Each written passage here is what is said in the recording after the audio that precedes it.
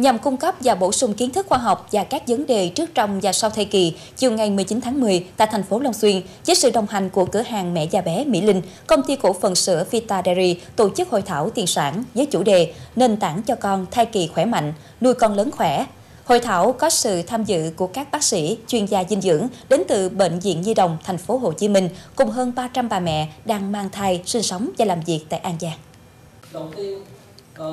Tại hội thảo, các bà mẹ được các chuyên gia chia sẻ những kiến thức quan trọng về các vấn đề chăm sóc thai kỳ của mẹ, sự thiếu hụt miễn dịch giai đoạn đầu đời ở trẻ sơ sinh.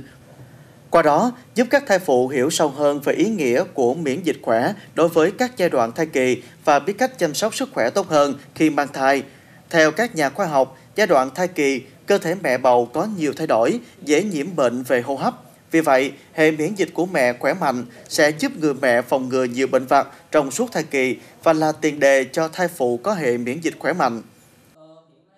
Dạ, hôm nay đến với sự kiện thì em cảm thấy rất là vui. Sự kiện cũng ờ, giúp cho em có nhiều kiến thức, nội dung hữu ích trong quá trình làm mẹ sắp tới của em. Để tăng hệ miễn dịch cho phụ nữ mang thai, tại hội thảo, bác sĩ chuyên khoa 2 Dương Minh Trí, trưởng khoa khám bệnh, bệnh viện Nhi đồng thành phố Hồ Chí Minh chia sẻ đến các thai phụ hai dòng sản phẩm chứa hàm lượng kháng thể IgG cao từ sữa non Colos IgG 24 giờ được thu trong vòng 24 giờ đầu quý giá từ các trang trại hạng A, nhập khẩu độc quyền từ tập đoàn Mỹ Pantheris.